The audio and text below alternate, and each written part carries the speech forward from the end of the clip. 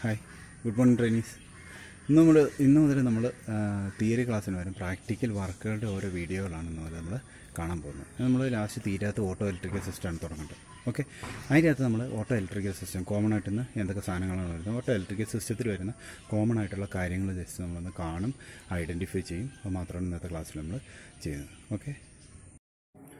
ഇതൊരു auto electrical സിസ്റ്റത്തിന് complete wiring ഡയഗ്രാമാണ് ചിത്രത്തിൽ കാണിച്ചിരിക്കുന്നത്. അതിൽ നോക്കി കഴിഞ്ഞിട്ടുണ്ടെങ്കിൽ ബാറ്ററി ഉണ്ടാവും സ്റ്റാർട്ടിംഗ് സിസ്റ്റം ഉണ്ടാവും ചാർജിങ് സിസ്റ്റം ഉണ്ടാവും ഓക്സിലറീസ് ഉണ്ടാവും ഇലക്ട്രിക്കൽ സിസ്റ്റം ലൈറ്റിംഗ് സിസ്റ്റം ഉണ്ടാവും. ഓക്കെ ഇത്രയും കാര്യങ്ങളാണ് ഇതിന്റെ അകത്ത് കൊടുത്തിട്ടുള്ളത്. ഇനി ഇതിന്റെ ഓരോ ക്ലാസ്സുകളാണ് ഓരോന്നും തിരിച്ച് തിരിച്ച് സ്റ്റാർട്ടിങ് ചാർജിങ് ലൈറ്റിംഗ് സിസ്റ്റം അങ്ങനെ ഓരോന്നും നമ്മൾ അടുത്ത ദിവസങ്ങളിലെ ക്ലാസ്സുകളിലൊക്കെ വർക്കുകൾ കാണിച്ചു തരാൻ പോകുന്നത്. അപ്പോൾ നമ്മൾ ശ്രദ്ധിച്ച് കാണണം. ഇതിൽ കുറച്ച് വർക്കുകളൊക്കെ നമ്മൾ ചെയ്തിട്ടുണ്ട്. കുറച്ച് രണ്ട് ഗ്രൂപ്പുകാരെ. രണ്ട് ഗ്രൂപ്പുകാരെ ലൈറ്റിംഗ് സിസ്റ്റം തുടങ്ങിയായിരുന്നു. പിന്നെ രണ്ട് ഗ്രൂപ്പുകാരെ സ്റ്റാർട്ടിംഗ് സിസ്റ്റം നമ്മുടെ കഴിഞ്ഞിരുന്നു. പിന്നെ പിന്നെ ഇലക്ട്രിക്കൽ സിസ്റ്റത്തിന് കുറേ നിങ്ങൾ ഫസ്റ്റ് ഇയറിൽ പഠിച്ചേക്കണമുണ്ട്. നമുക്ക് എളുപ്പമുണ്ട്. ജസ്റ്റ് ഒന്ന് പാർട്സുകൾ കാണിച്ചു തന്നു പോയാൽ മതിയല്ലോ. ബാക്കി നിങ്ങൾക്ക് അറിയുമെന്ന് വിചാരിക്കുന്നു. ഇല്ലെങ്കിൽ ആ ഫസ്റ്റ് ഇയറിലെ ബുക്കുകളൊക്കെ ഒന്ന് മറച്ചു നോക്കി കഴിഞ്ഞിട്ടുണ്ടെങ്കിൽ കുറച്ച് ഐഡിയ കിട്ടും.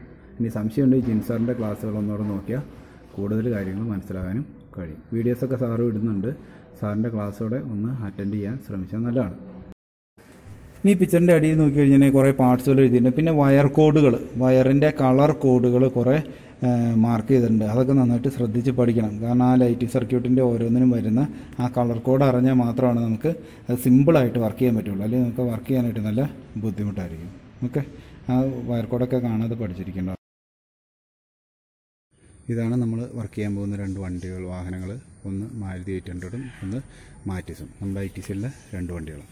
ആദ്യം തന്നെ പവർ ഉൽപ്പാദിപ്പിക്കുന്ന യൂണിറ്റാണ് ഓക്കെ അതാണ് ഓൾട്ടർനേറ്റർ എന്ന് പറയുന്നത്. ആണോ എഞ്ചിന്റെ ക്രാങ്ക് ഷാഫ്റ്റിൽ നിന്ന് ബെൽറ്റ് വഴി ഈ റൊട്ടേറ്റ് ചെയ്യുന്നതാണ് എന്തെന്ന് പറയുന്നത്? ഓൾട്ടർനേറ്റർ ഓക്കെ പഴയ വാഹനങ്ങളിൽ ഇത് ഉപയോഗിച്ചിരുന്നത് ഓൾട്ടർനേറ്റർ അല്ല ഡൈനാമോ ആയിരുന്നു ഉണ്ടായിരുന്നത്. പക്ഷേ ഇപ്പോഴത്തെ വാഹനങ്ങളിൽ എന്താണ്? ഓൾട്ടർനേറ്റർ ഈ അസംബ്ലിയാണ് വരുന്നത്. എഞ്ചിനിൽ നിന്നാണ് പവർ ക്രാൻഷാഫ്റ്റിന്റെ പവർ ഇതിന് കിട്ടുന്നത്.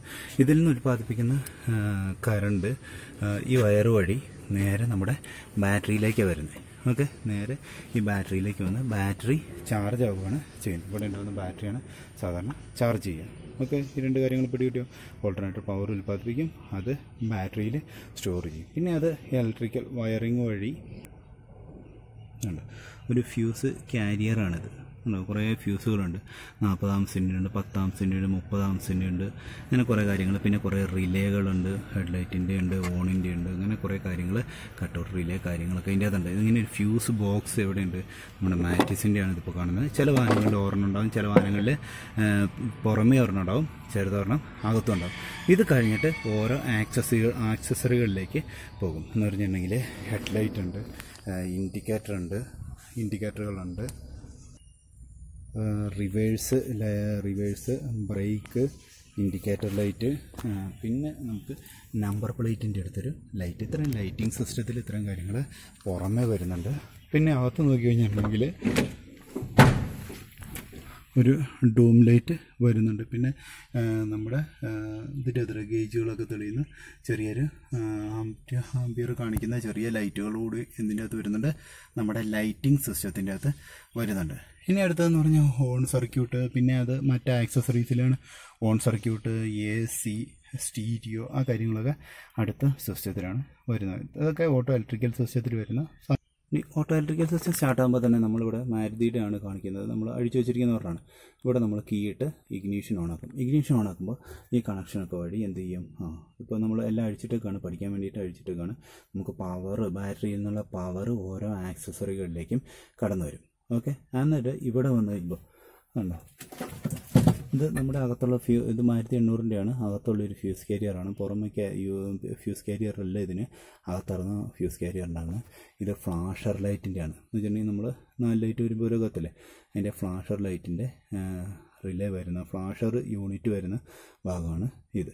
ഇനി ഇതെല്ലാം നമ്മൾ കണക്ട് ചെയ്യുന്നത് കളർ കോഡ് വെച്ചാണ്. നമുക്ക് കണ്ടോ എല്ലാത്തിലും നോക്കി കഴിഞ്ഞിട്ടുണ്ടെങ്കിൽ കളർ കോഡുണ്ട് ഇതിന്റെ അകത്ത് ബ്ലാക്കിൽ മെറൂൺ കളറുണ്ട് ബ്രൗണിഷ് കളറുണ്ട് യെല്ലോ ഉണ്ട് ഗ്രീൻ ഉണ്ട് ബ്ലാക്കിൽ ബ്ലൂ കളർ വരുന്നുണ്ട് യെല്ലോയിൽ ബ്ലാക്ക് വരുന്നുണ്ട് ഗ്രീൻ വരുന്നുണ്ട് പിന്നെ ബ്ലാക്കിൽ ബ്ലൂ കളർ വരുന്നുണ്ട്. ഇതൊക്കെ ഓരോ കളർ കോഡുകളാണ് ഈ കളർ കോഡുകളാണ് ഓരോ ഭാഗങ്ങളിലേക്ക് നമ്മൾ തിരിച്ചു വിടുന്നത് ഓക്കെ? മനസ്സിലായോ? പുതിയ വാഹനങ്ങളാണെങ്കിൽ അതിന് റിവേഴ്സിൽ വൈപ്പർ വർക്ക് ചെയ്യാനും മിറർ വർക്ക് ചെയ്യാനൊക്കെ വേണ്ടിയിട്ടും ഈ ഓട്ടോ ഇലക്ട്രിക്കൽ സിസ്റ്റങ്ങളുടെ ഭാഗങ്ങൾ ഉപയോഗിക്കുന്നുണ്ട്. ഓക്കെ? ലൈറ്റിംഗ് സിസ്റ്റം ഉണ്ട് മറ്റ് ആക്സസറീസ് ഉണ്ട്. ആക്സസറി ആക്സസറീസിലാണ് എ സി മറ്റ് കാര്യങ്ങളൊക്കെ വരുന്നത്. ഇതിനെക്കുറിച്ചാണ് അടുത്ത ദിവസങ്ങളിലുള്ള ക്ലാസ്സുകളിലൊക്കെ നമ്മൾ ഡീറ്റെയിൽ ആയിട്ട് പഠിക്കാനായിട്ട് പോകുന്നത്. ഇനിയിപ്പോൾ നോക്കി കഴിഞ്ഞിട്ടുണ്ടെങ്കിൽ ഇവിടെ ഒരു അസംബ്ലി അസംബ്ലി ഉണ്ടോ? ഈ അസംബ്ലിയുടെ ധർമ്മം എന്താണെന്ന് വെച്ച് കഴിഞ്ഞിട്ടുണ്ടെങ്കിൽ ഇതിന്റെ അകത്താണ് നമ്മൾ പാർക്കിംഗ് ലൈറ്റ് ഓണാക്കുക. അതുണ്ടോ സോറി ഇരിക്കുന്നത്. മാറ്റിസിന്റെ അത് നോക്കി. വൈപ്പർ ബ്ലേഡ് നേരെ ഓപ്പോസിറ്റ് സൈഡിലാണ് വന്നിരിക്കുന്നത്. പക്ഷേ മാറ്റിതിരെ ഉണ്ട് നേരെ ഇപ്പുറ സൈഡിലാണ് ഇതിന്റെ അകത്ത് എവിടെയാണ്? നേരെ റൈറ്റ് സൈഡിലാണ് വന്നിരിക്കുന്നത്. ഇപ്പുറ സൈഡിൽ വരുന്ന ലൈറ്റുകളുണ്ടോ കുറച്ചൊക്കെ ക്ലിയർ ആയിട്ട് ഇതിന്റെ അകത്ത് കാണാം. അതൊക്കെയാണ് കണ്ടോ ഹെഡ് ലൈറ്റിന്റെ ഓഫ് ഓണ് പാർക്കിങ് പാർക്കിംഗ് ഓണൊക്കെ ഡിമ്മ് ബ്രൈറ്റ് ഇൻഡിക്കേറ്ററുകൾ പിന്നെ ഇതുണ്ടോ? ബ്രൈറ്റ്. ഇത്തരം കാര്യങ്ങളാണ് ഇതിന്റെ അകത്ത് വരുന്നത്. ഓക്കെ. മനസ്സിലായോ?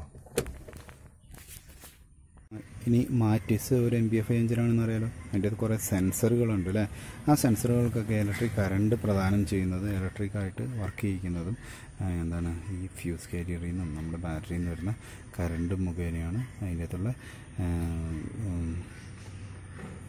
ചില സെൻസറുകളൊക്കെ വർക്ക് ചെയ്യുന്നത്.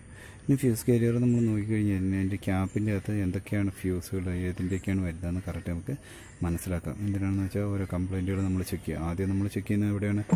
ഒരു ഒരു സിസ്റ്റം വർക്ക് ചെയ്യുന്നില്ലെങ്കിൽ നമ്മൾ ആദ്യം ഫ്യൂസ് കാരിയർ എന്ന് നമ്മൾ നോക്കും അല്ലേ? ബാറ്ററിയുടെ കണക്ഷനൊക്കെ ഓക്കെ ആണെങ്കിൽ ഫ്യൂസ് കാരിയർ നോക്കും. ഫ്യൂസ് കാരിയറിലെല്ലാം ഓക്കെ ആണെങ്കിൽ നമ്മൾ എന്ത് ചെയ്യും ബാക്കി സിസ്റ്റം വയറിങ്ങിലേക്ക് നോക്കും. പിന്നെയാണ് നമ്മൾ ആ സിസ്റ്റത്തിലേക്ക് നോക്കുന്നത്. അപ്പോൾ ഹെഡ്ലൈറ്റൊക്കെ ആണെങ്കിൽ ബൾബാണ് നമ്മൾ നോക്കുക. ഫ്യൂസൊക്കെ പിന്നീട് നോക്കുക ഓക്കെ അങ്ങനെ ചില കാര്യങ്ങളൊക്കെ നമ്മൾ കൂടുതൽ ആദ്യം ഓരോ സൈഡിൽ നിന്നാണ് നമ്മൾ വർക്ക് ചെയ്ത് തുടങ്ങുന്നത്. ഓക്കെ ബാറ്ററി മുതൽ അങ്ങനെ ബാക്കോട്ടാണ് ഓരോ വർക്കുകൾ നമ്മൾ ചെയ്ത് തുടങ്ങുന്നത്.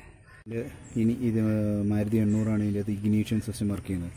കണ്ടോ? ഇഗ്നീഷ്യൻ കോയിലേക്ക് കറണ്ട് വരുന്നത് പവർ ബാറ്ററി എന്നുള്ള സ്പാർ പ്ലഗിലേക്കുള്ള പവർ വരുന്നത് ഇതൊക്കെ കൺട്രോൾ ചെയ്യുന്നത് ബാറ്ററിയിൽ നിന്നാണ് പിന്നെ എന്താണ്? സ്റ്റാർട്ടിംഗ് സിസ്റ്റത്തിന് ബാറ്ററിയിൽ നിന്ന് ഡയറക്റ്റായിട്ട് സ്റ്റാർട്ടിംഗ് മോട്ടറിലേക്ക് കണക്ഷൻ കൊടുത്തിരിക്കുക. കാരണം എന്താണ്?